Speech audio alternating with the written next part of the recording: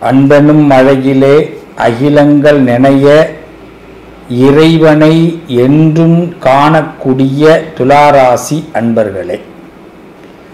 அன்புங்கிற மழை அகிலம் முழுவதும் இறைவன் இருக்கிறாங்கிற எண்ணம் இதில் சந்தோஷம் அடைகிறக்கூடிய மனசு. இப்படிப்பட்ட அருமையான துளாராசி அன்பர்களே. துளாராசியை பொறுத்த வரைக்கும் இன்னைக்கும் உங்கள் வாழ்க்கையை மேன்மைப்படுத்துவது எது? சில பேர் கேட்பாங்க நான் ஏன் துளாராசியில் பிறந்தனே தெரியலைங்க. ரொம்ப சிரமத்திலேயே இருக்கிறேன் என் வாழ்க்கையே வீணாக போயிட்டுங்க. நான் வந்து துளாராசியில் பிறந்திருக்கவே கூடாது அது துக்கமான ராசி அப்படின்னே சில பேர் சொல்கிறாங்க நான் காது கொடுத்து கேட்குறேன். அப்படி இல்லைங்க. எல்லாத்தையும் பொறுத்துக்கக்கூடிய ராசினா அது துளாராசிங்க எல்லாரையும் புரிஞ்சிக்கக்கூடிய ராசினா அது துளாராசிங்க நம்பிக்கை துரோகத்தை அதிகமாக பார்த்த ராசினா அது துளாராசிங்க இப்போ நீங்கள் கேட்கலாம் நான் ஏன் இந்த ராசியில் பிறந்தேன்? நான் ஏன் இந்த ராசியில் பிறந்தேன்? எனக்கு இது பிறப்பே வேணாமே. இந்த ராசி எடுத்த பயன் என்ன? அப்படின்னு நீங்கள் கேட்கலாம். இப்போ சொல்கிறேன் கேளுங்கள் இன்னைக்கும் சத்தியம்ங்கிற ஒரு வார்த்தை இருக்குன்னா அது துளாராசியால தான் இருக்கு. மெய் உணர்வுன்னு சொல்லி ஒன்று இருக்குன்னா அது துளாராசியால தான் இருக்கு. பயம் நம்ம ஒருத்தவங்களுக்கு தப்பு பண்ணக்கூடாது பாவம் அப்படின்னு நினைக்கிறது யாருன்னா துளாராசிக்காரவங்க தான். நாம ஒன்று தப்பு பண்ணா நம்ம குடும்பத்தை பாதிக்கும் நம்ம வம்சத்தை பாதிக்கும் அப்படின்னு நினைக்கக்கூடியவர்கள் துளாராசிக்காரர்கள் தான்.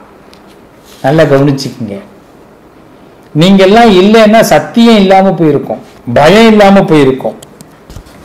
அப்ப ஒரு துளாராசிக்காரர்னு சொன்னா கண்டிப்பா அந்த துளாராசிக்காரர்கள் இருக்கிற இடம் மேன்மையான இடம்.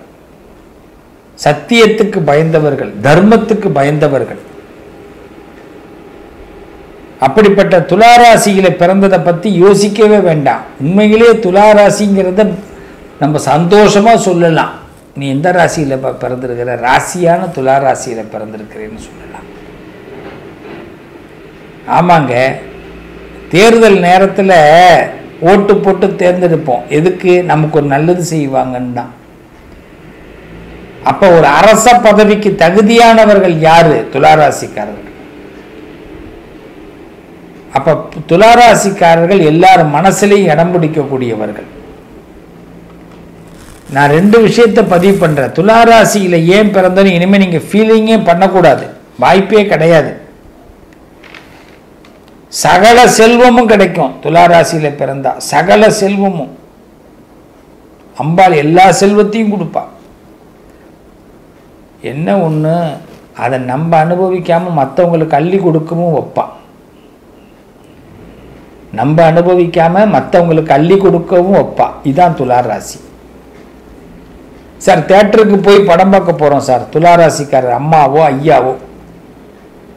70 எம்எம் ஸ்க்ரீனு டால்பி டிஜிட்டல் எல்லாம் பக்கா ஏசி கூலிங்கு பக்கா. உனக்கு என்ன வேணும்? ஓகேவா சீட்டு சரியாக உட்காந்துருக்கியா உனக்கு என்னம்மா வேணும்? என்ன வேணும்? இன்டர்வல்ல படமே போடலை. இதுதான் துளாராசியோட மனசு. ரெண்டரை மணி நேரம் படத்தில் ஏதாவது ஒரு அஞ்சு நிமிஷம் அப்படி பார்த்துட்டு ஹேன்னு சிரிச்சுக்கிட்டு கை தட்டுவாங்க. அந்த நேரம் பக்கத்தில் உள்ளவங்க சொல்லுவாங்க பிள்ளையோ ஐயாவோ யாரோ ஒருத்தவங்க உனக்கு என்ன வேணும்? அ- அந்த நிமிஷம் தாங்க அஞ்சு அந்த நிமிஷம் தான் சந்தோஷமே முடிஞ்சு போச்சு.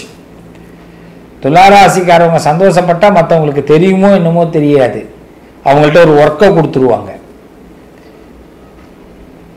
ஆனால் சகல செல்வமும் கிடைக்கும். துளாராசிக்கு.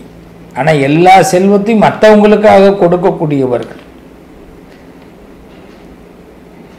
தனம் கல்வி தானியம் பேர் புகழ் நல்ல பேர் வாங்கக்கூடியவர்கள் துளாராசிக்காரர்கள். இன்னைக்கு நான் சொல்றேன் நல்ல பேர் வாங்கக்கூடியவர்கள். எத்தனை பேர் இந்த நல்ல பேர் வாங்க முடியாம தவிக்கிறாங்க தெரியுமா? அது மாதிரி பார்த்தீங்கன்னா எதுலேயும் போல்டாக இறங்கி செய்யக்கூடியவர்கள் துளாராசிக்காரர்கள். சின்ன ஆளுன்னு நினச்சிடாதீங்க. இறங்குனாங்கன்னா போல்டு தான். எதை எப்படி அணுகணும்? எப்படி செய்யணும்? பக்கத்தில் இருக்கிறவங்கள துளாராசிக்காரவங்க எப்படி இருந்தாலும் தன் வயப்படுத்தக்கூடிய வல்லமை துளாராசிக்கு உண்டு. அதனால தான் நிறைய பேரை பகைமை வேற ஏற்பட்டுடுது உங்கள் மேலே. ஆனால் யாரும் உங்களுக்கு முன்னாடி ஒன்றும் சொல்ல மாட்டாங்க. கருத்து மோதல்கள் நிறையா வரும். கடைசியில் உங்கள்கிட்ட சரண்டர் ஆகிடுவாங்க துளாராசிக்காரர்கள் உண்மையா இல்லையா? யோசிச்சு பாருங்க. ஏன் பிறந்தோன்னு திருப்பி யோசிக்காதீங்க. துளாராசியை பொறுத்த வரைக்கும் எவ்வளவு பணம் கோடியில் இருந்தாலும் அதை பற்றி பெரிய அளவில் யோசிக்கவே மாட்டாங்க. உதாசீனப்படுத்துறவங்க கிடையாது. அதை பெரிய அளவில் ஐயோ நமக்கு அது இல்லைன்னா ஒன்றுமே இல்லைன்னு நினைக்கிறவங்க கிடையாது. அதான் முக்கியம். அதே மாதிரி பாருங்க எவ்வளவு பெரிய விஷயமா இருந்தாலும் சரி முடியாத காரியம் அதை போய் துளாராசியத்தை கொடுங்க முடிச்சு கொடுப்பாங்க. முடித்து கொடுக்கக்கூடியவர்கள் செயற்கு அரிய சாதனைகள் எல்லாம் செய்யக்கூடியவர்கள் செயல் முடியாத விஷயங்களை கூட அதில் புகழ் பெறக்கூடியவர்கள்.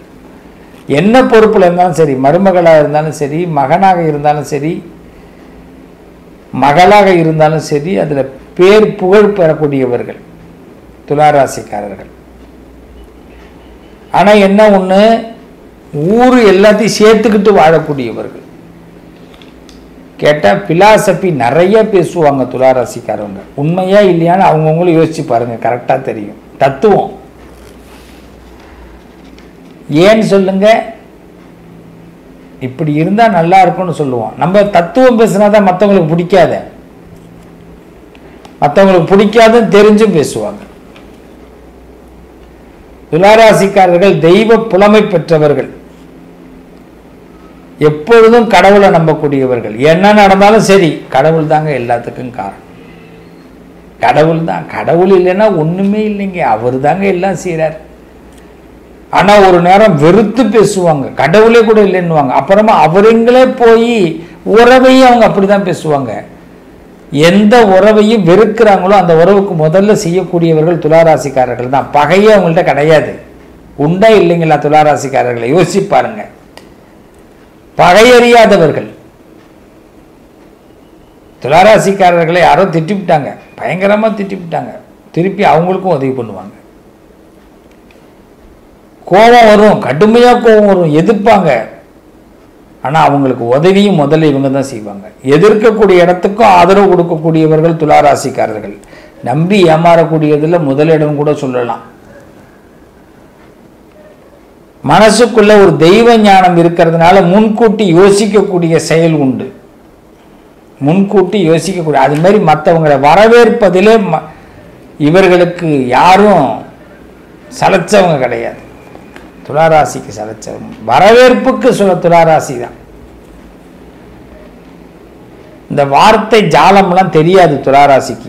இந்த வாய் ஜாடல் வார்த்தை ஜாலம் பேசி மயக்கிறது இதெல்லாம் தெரியாது. துளாராசியை பொறுத்த வரைக்கும் செயலில் வெற்றி பெறக்கூடியவர்கள். அவங்க செயலை பார்த்து அவங்க கண்டுபிடிப்பை பார்த்து துளாராசிக்காரவங்க பொம்பளை பிள்ளைய ஒரு கோலம் போட்டால் கூட இது எங்கே போட்டீங்க? நல்லா இருக்கு அப்படின்னு மற்றவங்க கேட்பாங்க. உண்மை. இது மாதிரி கோலம் எனக்கு வரவே மாட்டேங்குது. துளாராசிக்கார அம்மா ஒரு உப்புமா பண்ணுவாங்க. உப்புமாவே பிடிக்காதவனே உப்புமா பிடிச்சி சாப்பிடுவான். அது மாதிரி துளாராசிக்கார ஐயா ஒன்றுமே செய்ய மாட்டார். சாதாரணமா ஒரு விஷயத்த பண்ணியிருப்பாரு அதுக்கு பெரிய பாராட்டுகள்லாம் கிடைக்கும். எப்படி பாராட்டு? நல்லா பண்ணீங்கன்னு இல்லை. இது எப்படி பண்ணீங்க? இது எப்படி உங்களுக்கு மட்டும் கிடைச்சிது? ஒருத்தர் மஞ்சள் கலர் துண்டு போட சொன்னேன். துளாராசிக்காரவங்களாம் துண்டு போடுங்க நல்லா இருக்கும் எப்பயுமே துளாராசி ரிஷப ராசி மஞ்சள் துண்டு போடுங்க நல்லது நடக்கும். அது ஒரு பாசிட்டிவ் எனர்ஜி கிடைக்கும். மஞ்சள் கலரில் கர்ச்சீஃபு மஞ்சள் கலரில் எல்லோ நிறைய யூஸ் பண்ணலாம். நிறைய பாசிட்டிவ் எனர்ஜி கிடைக்கும். அப்படி நான் சொன்னேன். ஒருத்தர் துண்டு போட்டிருந்தாரா? அவருக்கு போன உடனே சொன்னாங்களாம் எல்லாரும் அவரை பார்த்துட்டு வணங்கினாங்களாம். இவருக்கு ரொம்ப சந்தோஷமா. மஞ்சள் துண்டுக்கு தான் வணங்குறாங்கன்னு நினச்சாராம் அவங்கள்ட்ட கேட்டாங்களாம் அவரை பார்த்து வணங்குறாங்கன்னு நினச்சாங்களாம் அவர் சொன்னாங்களாம் வந்து இந்த மஞ்சள் துண்டு நல்லா இருக்குது இது எங்கே போய் வாங்குனீங்கன்னு கேட்டாங்களாம். அவருக்கு கடுமையான கோபம் வந்துட்டான். இப்போ புரியுதுங்களா? துளாராசிக்காரர்கள் எது செய்தாலும் பெஸ்ட்டாக மற்றவங்களுக்கு தெரியும். ஆனால் துளாராசிக்காரர்களை கண்ணுக்கு தெரியாது. வார்த்தையை நல்லா கவனிக்கணும். மற்றது பெஸ்ட்டாக தெரியும். எங்குமே பெருமை கிடைக்குங்க. ஒன்றுமே இல்லைனாலும் உயர்த்தி பேசுவார்கள் மற்றவர்கள் துளாராசி. உயர்த்தி பேசுவார்கள். ஆனால் உயர்வுக்கு தயவு செய்து மயங்கிடாதீங்க. அவங்க என்னன்னா துளாராசிக்காரவங்களை வேலை வாங்குறாங்கன்னு அர்த்தம். உங்கள்கிட்ட எல்லா வேலையும் வாங்குறாங்கன்னு அர்த்தம். இதை தான் நீங்கள் தெளிவாக புரிஞ்சுக்கணும். நம்மளை ஏமாலியாக்குறாங்கன்னு அர்த்தம். துளாராசியில சூரிய பகவான் நீசம். நல்ல கவனிங்க.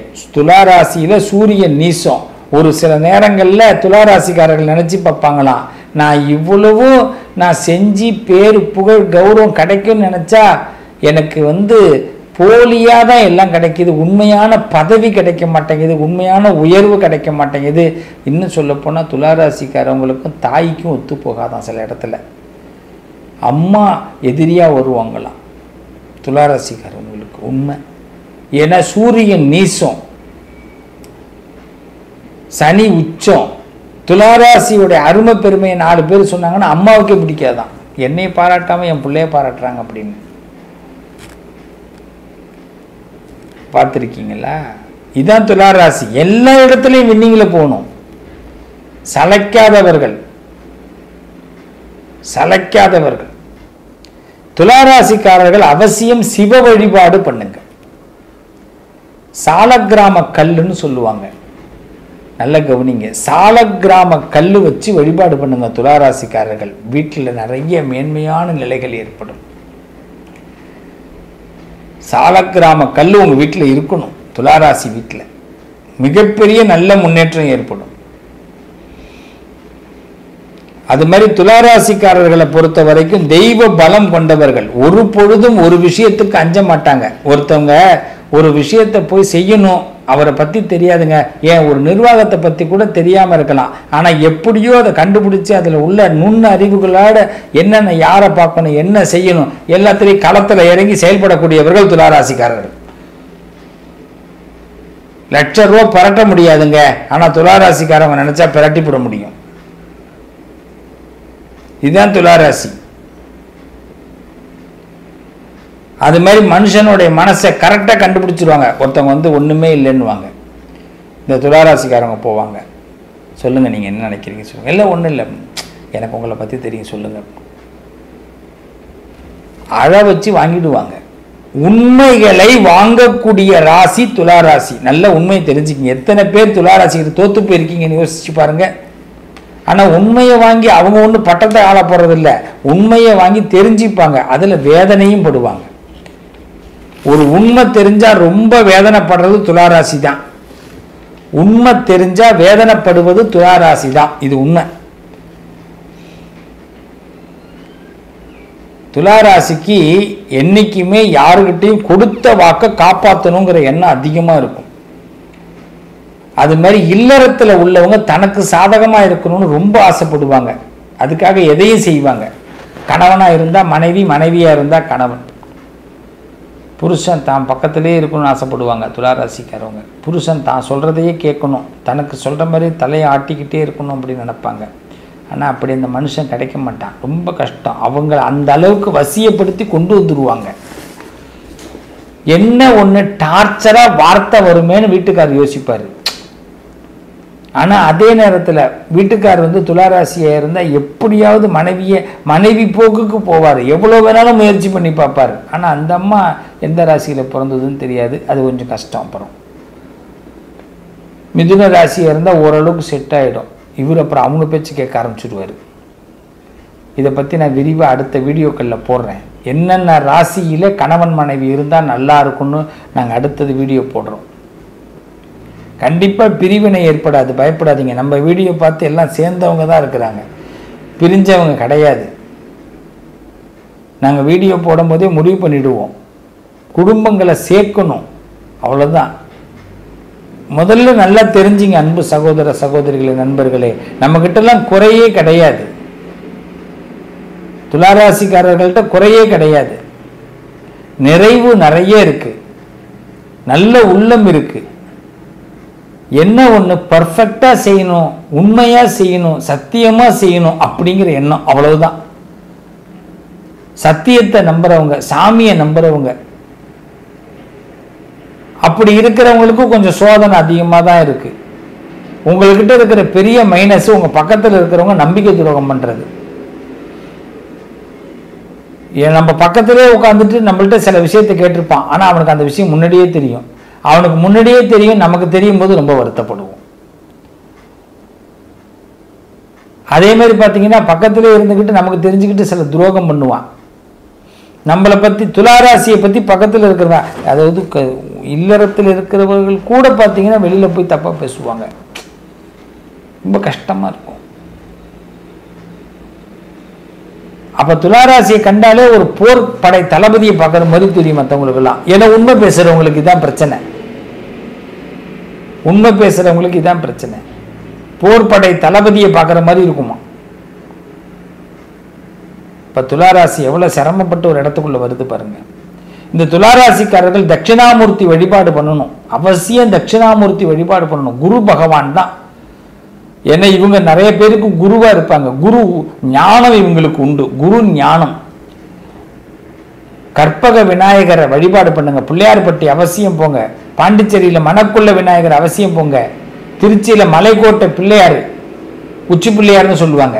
போயிட்டு வாங்க. பிள்ளையார் எங்கெல்லாம் இருக்காரோ அங்கெல்லாம் போய் வழிபாடு பண்ணுங்க.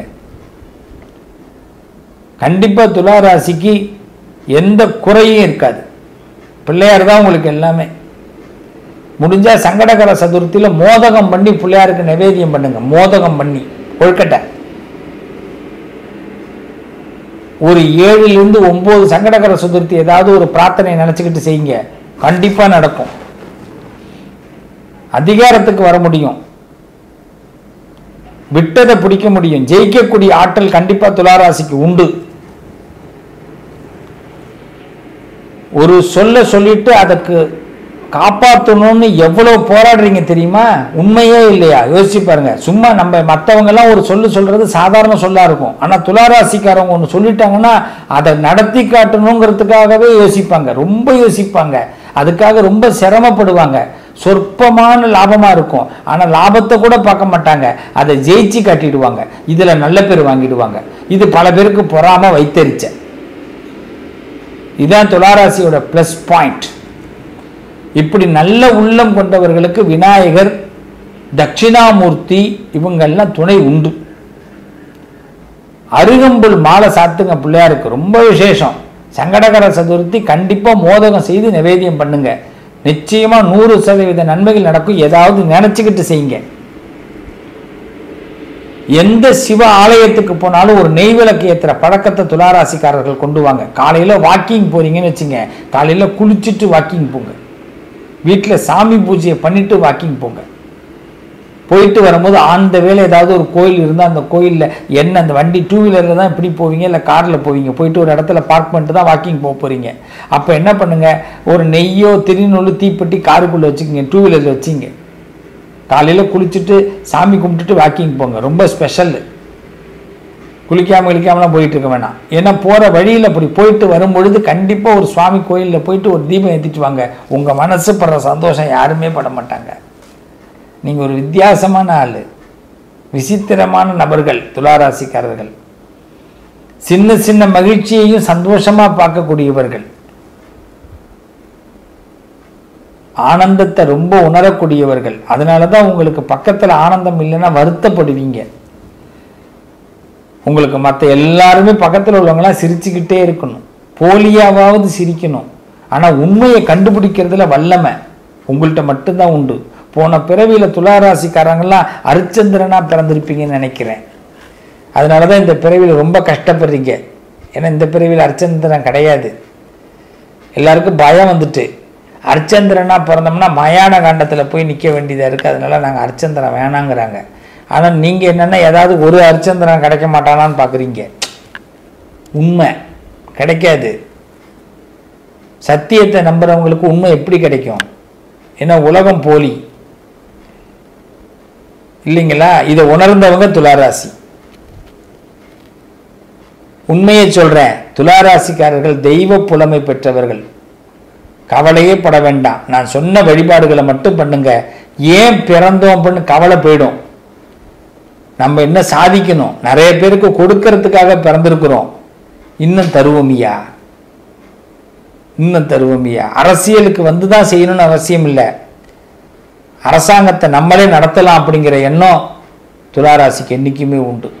தானே ஒரு அரசாங்கத்தை நடத்தக்கூடிய எண்ணம் உண்டு. சர்வ அதிகாரின்னு பல பேர் சொல்லுவாங்க. கவலைப்பட வேண்டிய அவசியம் இல்லை.